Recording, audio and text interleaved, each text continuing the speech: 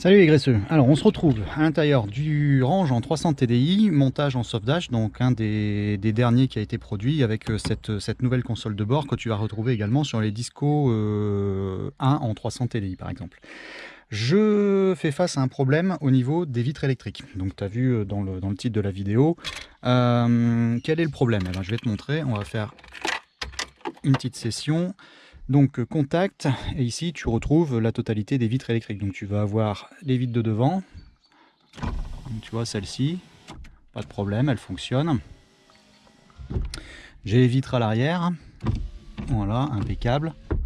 Ça fonctionne également arrière conducteur, par contre j'ai un problème sur celle de l'avant conducteur. Alors qu'est-ce qui se passe? J'ai tout démonté, tu vois, j'ai tout ouvert ici, donc il faut euh, déposer le, le panneau de porte. Tu fais super gaffe parce que tu as les petits picots euh, à l'arrière ici qu'il faut éviter de, briser. Donc tu utilises, euh, le mieux c'est les spatules de les spatules de cuisine. Tu dis rien, tu vas, tu vas chercher ça dans, tu, fais mine de rien, tu l'empruntes et tu la passes par en dessous, quelque chose d'assez fin pour dire d'aller décoller, avoir un bon appui euh, sans, sans exploser ton, ton panneau de porte. Tu peux le faire avec un tournevis plat également assez, assez rigide. Donc tu décolles ça bien comme il faut, tu défais tout et donc tu vas avoir accès ici derrière au moteur électrique qui est monté là ici. Donc tu n'as pas besoin de sortir la crémaillère hein. tu sors uniquement les vis qui sont là. Et puis tu vas avoir ton moteur électrique qui est ici. Donc celui-ci euh, bah, j'ai tout d'abord suspecté que je me suis bon bah le, moteur électrique est grillé tout ça donc je l'ai remplacé par un que j'avais d'avance hein, que j'ai été prendre sur une de mes épaves et euh, bah, même problème donc euh, j'ai testé également le moteur directement en l'alimentant de, la batterie hein. tu, tu amènes du plus et du moins au niveau de la broche ici et puis ça fonctionne. Donc après, ce qui s'est passé, c'est qu'on suspecte au niveau de, de coupure, au niveau de la continuité des fils, tout ça. Donc euh, bon, là, j'ai juste vérifié par acquis de conscience parce que tu as, tu vois, au niveau des fusibles ici, euh, il s'agit des vitres, euh, enfin des fusibles qui sont ici, qui sont commandés là par les deux de 30 ampères que tu vas retrouver ici.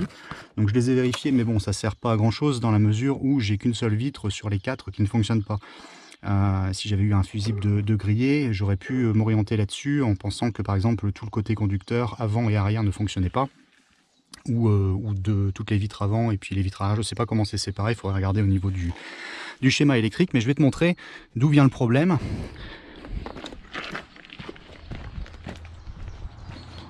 et tu vas comprendre. Donc sur les, les montages comme ça en soft dash, hein, que tu sois sur un range ou sur un disco, ça va être la même chose. Tu vas retrouver euh, un écu qui gère ici au niveau de la vitre enfin au niveau de la, gestion de toutes les vitres qui est montée voilà ici à cet endroit là donc on va le on va le sortir je vais te montrer.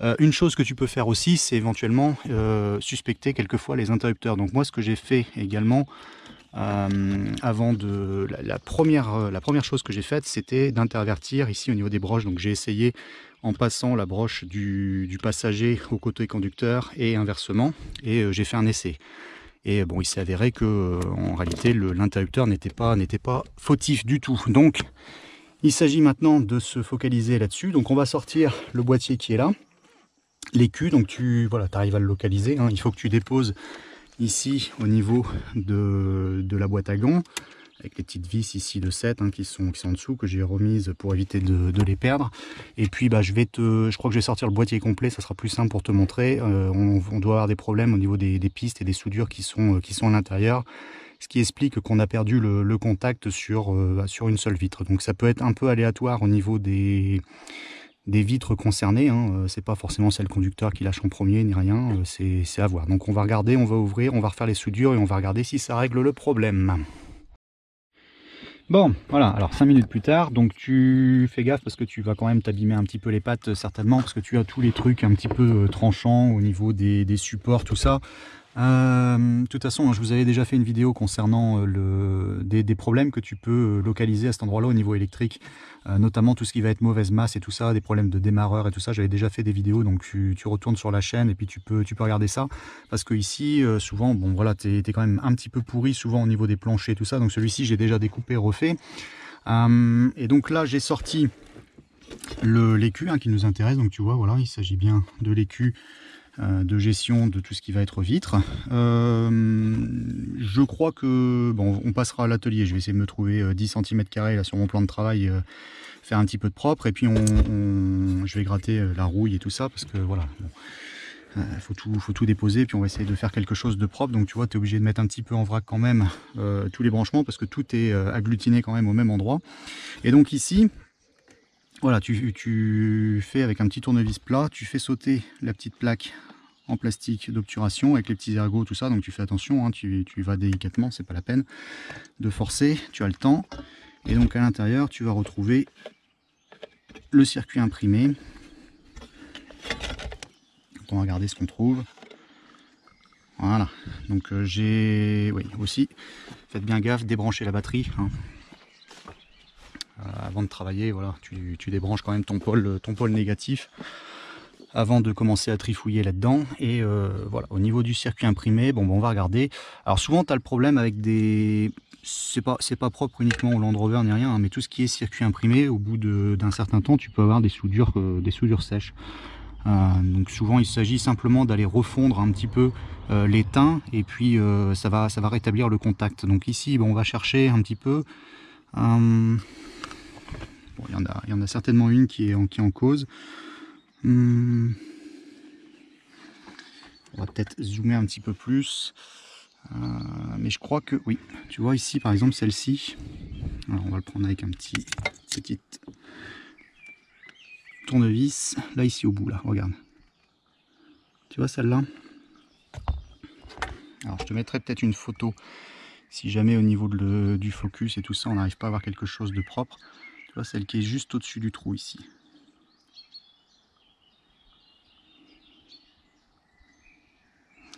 Elle est, euh, moi, elle me plaît pas. On, voit que ça fait tout le tour. Je te, mettrai une photo euh, plus en détail. Tu verras euh, en, macro et tout ça à quoi ça ressemble. je vais refaire seulement celle-là pour le moment parce que les autres ont l'air à peu près propres. mais bon, une fois que c'est sorti, tu peux aussi refondre la totalité. Donc on va passer à l'atelier, je vais mettre le, fer à souder euh, à chauffer et puis on, va reprendre cette soudure là.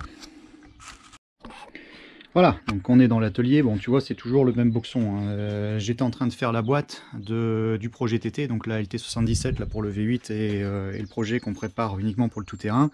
Donc j'avais pas prévu de faire de la soudure de ces jours-ci. je viens de dessouder. Hein. J'ai bon effectivement il y avait il y avait vraiment une fissure euh, tout autour, donc je t'ai fait quelques photos. Euh, donc tu dessoudes, euh, j'ai nettoyé également tout le circuit également avec un, nettoyant spécifique. Et donc là je vais le recharger en éteint. On va faire uniquement celle-ci, puis on va aller tester après, on va regarder ce que ça donne. Bon voilà, donc on se retrouve euh, deux minutes plus tard, tu vois, j'ai rechargé la, soudure qui me paraissait un petit peu suspecte et tout ça, donc j'ai procédé de cette façon-là. J'ai fait uniquement celle-ci, euh, et je suis allé tester sur le véhicule. Bon, euh, pas d'amélioration, à part le fait que j'avais réussi à obtenir un petit clic-clic ici, dans les... Enfin, au niveau de ces, petits blocs ici, blancs, je pense que ça doit être des relais ou ce genre de truc. Enfin, je suis pas électronicien, donc... voilà, pour te dire, moi, de, quand je vois des circuits imprimés, des, des, composants, des machins, tout ça, moi j'ai le poil qui se hérisse parce que dans les voitures et tout ça, j'ai horreur de trouver ce genre de truc. Euh, c'est le genre de panne où tu peux chercher des, heures et tout ça, donc c'est bien chiant. Donc pour revenir à notre problème, donc j'ai, euh, je suis revenu ici euh, à l'atelier et j'ai décidé d'inspecter davantage au niveau de, des autres soudures et surtout dans cette, dans cette région là où j'ai entendu le, petit clic là, tu vois. Donc le mieux c'est de te munir d'une petite loupe pour dire de, grossir un petit peu et de bien voir ce que tu, ce que tu recherches parce qu'à l'œil nu quelquefois tu, tu le vois pas. Et effectivement j'ai constaté que j'en avais une autre ici qui était, qui était très très suspecte, celle-ci. Hein. Je l'ai rechargé je suis allé tester et là euh, j'ai récupéré. Donc en fait j'avais euh, une micro coupure ou une soudure sèche ou euh, un manque de, matière ou je sais pas à cet endroit là. donc là tu vas voir, hein, ça, fonctionne, ça a résolu le problème. J'en ai profité pour refondre la totalité des, gros points et tout ça qu'on avait dans cette région là parce qu'il y en avait deux autres également qui me paraissaient pas terribles non plus. Celui-ci, celui-là, celui-là également. Et bon voilà, moi je procède de cette façon là en fait. J'y vais un petit peu à tâtons, j'en fais j'en fais 3-4 qui sont suspects. Je tester sur le véhicule, je regarde s'il y a une amélioration ou pas. Euh, parce que voilà, je, tu peux à la limite recharger la totalité, refaire la totalité de tes points de soudure et tout ça. Mais moi, comme je te dis, je suis pas électronicien, tout ça. Et du peu de, cours qui me reste de l'école, enfin quand on était au collège, qu'on avait cours de techno qu'on n'écoutait pas, que tu faisais des, circuits imprimés, enfin tu sais, tu faisais un petit porte-clés lumineux à la con, ça te prenait six mois, t'avançais pas et tu avais trois pauvres composants et un interrupteur. Et puis euh, voilà, au bout de six mois, tu étais content d'avoir fait une petite merde comme ça, et puis euh, ça t'avait occupé euh, la, moitié de l'année. Mais la seule chose que j'ai retenue, c'est qu'il y a certains composants qui ne supportent pas la, chauffe prolongée. Donc en fait, moi, je vais relativement vite pour faire mes, soudures. Donc tu utilises vraiment euh, un bon fer à souder euh, pour dire de ne pas avoir de, contact pendant trop longtemps. Donc il y a certains composants à mon avis qui, euh, qui, peuvent, risquer de claquer. Donc là ceux qui connaissent un petit peu plus au niveau de l'électronique et tout ça, vous le direz par exemple dans les commentaires. Moi ça c'est pas mon boulot du tout. Tout ce que je sais c'est que ici ce que j'ai fait ça a permis de résoudre le problème. Donc on va aller mettre ça en place. On va faire le test et puis après bah tu vois je, ferai le nettoyage et puis je traiterai également la, la tôle support si tout ça ça fonctionne. Donc on va les mettre ça en place et on va vérifier que ça a bien résolu le problème. Bon, alors de retour dans l'habitacle, tu vois, donc j'ai remis euh, l'écu en place. Hein, pour l'instant, on va, on va faire un test uniquement comme ça en le branchant vite fait. On va raccorder au niveau de la batterie quand même, avoir du jus, ça nous permettra de régler le problème. Voilà. Alors, contact. Voilà. Et donc notre, euh, notre interrupteur, c'est celui-ci. Notre moteur, c'est celui là-bas. Voilà, tu vois, on a récupéré les fonctions. Donc si je fais un appui franc, normalement il va descendre jusque... Voilà. Tac, toc, il arrive en butée. Et après, on a notre remontée. Donc tu vois, tout fonctionne. On a tout récupéré. Les autres, ça n'a rien changé. On vérifie quand même que j'ai rien foutu en l'air en faisant mes, euh, en faisant mes soudures. ici, bah, tu as, le, le verrouillage pour condamner le, la descente des vitres arrière. tout fonctionne. Donc on va en profiter pour nettoyer tout ça. On va remonter ça vraiment clean. Et puis voilà, problème résolu. Donc tu vois, si tu as le, même genre de problème, euh, oriente-toi de, de, la même façon pour, euh, pour essayer de solutionner ça. Donc dans l'ordre, tu peux vérifier interrupteur, les fusibles, Ensuite, euh, tu peux démonter le panneau, tu, défais ton moteur, tu testes directement ton moteur comme, euh, comme j'ai pu faire, tu le mets sur batterie, tu amènes du plus, du moins, tu regardes si tu as euh, une rotation qui s'effectue. et puis, ça te permet donc de, de, te focaliser sur la, la, dernière possibilité, le problème ici au niveau de l'écu directement. Donc voilà, tu peux procéder de cette façon-là. Une fois que tu auras fait euh, ce tour-là, normalement, tu as, fait le tour de toutes les possibilités euh, et tous les, risques de, panne que tu peux avoir. J'espère que la vidéo te sera utile, donc tu peux l'appliquer à partir du moment où tu es en montage dash comme ça, que tu sois en TDI euh, ou en version V8 aussi. Hein. Tu as, des ranges montées en V8 et même des, des des discos 1 montés en V8 je crois. Euh, qui, ont cette, planche de bord. À partir du moment où tu as cette planche de bord là, en fait, tu fonctionnes avec cette, cette électronique là, si tu veux, ce, montage électrique euh. C'est pas uniquement une question de, motorisation et essence ou diesel, d'accord? Donc euh, après, après 94 en fait. Voilà, donc j'espère que tout ça vous sera utile. Moi, je vais mettre un bon petit coup de propre, je vais remonter ça clean, et puis bah voilà, notre problème est réglé. Au moins, j'aurais plus l'air d'un con quand j'arrive au péage et que je suis obligé d'ouvrir ma porte pour prendre le ticket. Allez, ciao, à plus les graisseux.